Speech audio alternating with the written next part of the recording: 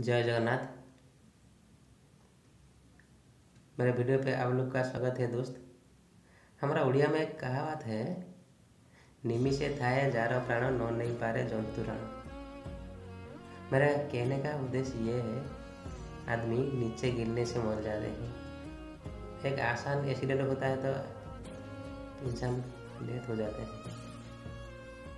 लेकिन आपको पता है, अमेरिका जब जापान जापान में हिरोशिमा और नागासाकी के ऊपर परमाणु बम गिरा दिया था, उधर एक आदमी, नाम है सुतम या मागुची नाम नाम पर एक आदमी, उनके ऊपर दो बार परमाणु बम गिरा, लेकिन वो ज़िंदा रहा।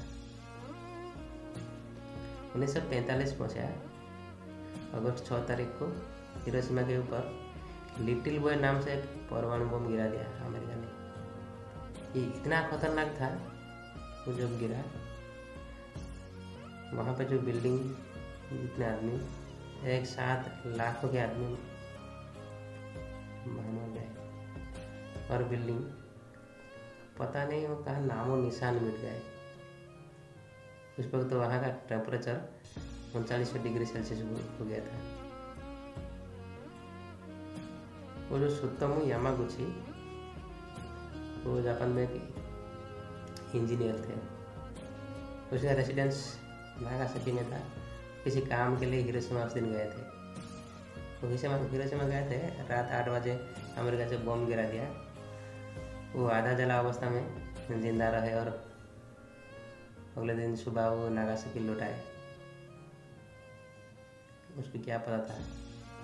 तीन दिन बाद अगस्त नौ तारीख को फिर अमेरिका ने फैटमैन नाम से परमाणु बम गिरा दिया। उस वक्त क्या है ना, वो कुछ अपने फैमिली के साथ कुछ मेडिसिन लेने के लिए एक अंडरग्राउंड रास्ते में जा रहे थे। इसलिए उनका घर तो उड़ गया, लेकिन वो ज़िंदा रहा। जापान गवर्नमेंट के ऑफिशियल से अनुसार वो एक ही आदमी थे, सुतमु यामागुची, जो जिनके ऊपर दो बार परमाणु बम गिरा। लेकिन वो ज़िंदा रहे। नॉन ऑफिशियल तो सत्तर, साठ, सत्तर लोग ज़िंदा रहते हैं। लेकिन जापान गवर्नमेंट के अनुसार वो एक ही आदमी था। दो हज़ार दस, दो हज़ार दस को उनका देहांत हो गया है। लेकिन आज भी जापान सरकार के अनुसार वही एक ही इंसान है। दो दो परमाणु बम जो झेल के भी ज़िंदा रहा जय जगन्नाथ